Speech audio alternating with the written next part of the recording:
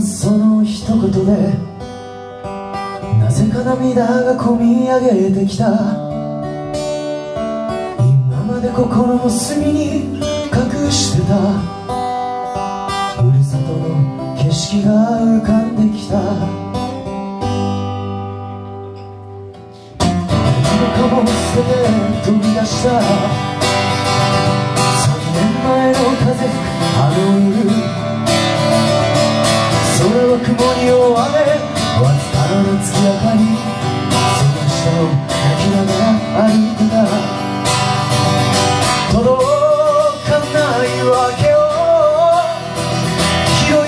れるのは終わりさ。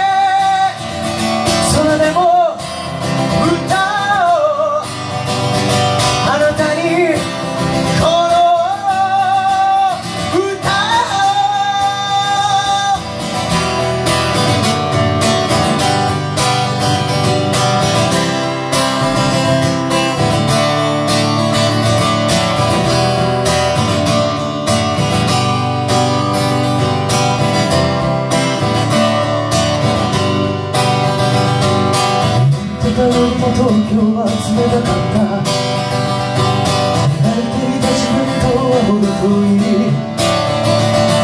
世間が嫌いだ人間が嫌いだそんなに知らく自分の嫌いだ風のように吹き抜ける時の流れ誰もに憧れを抱いてる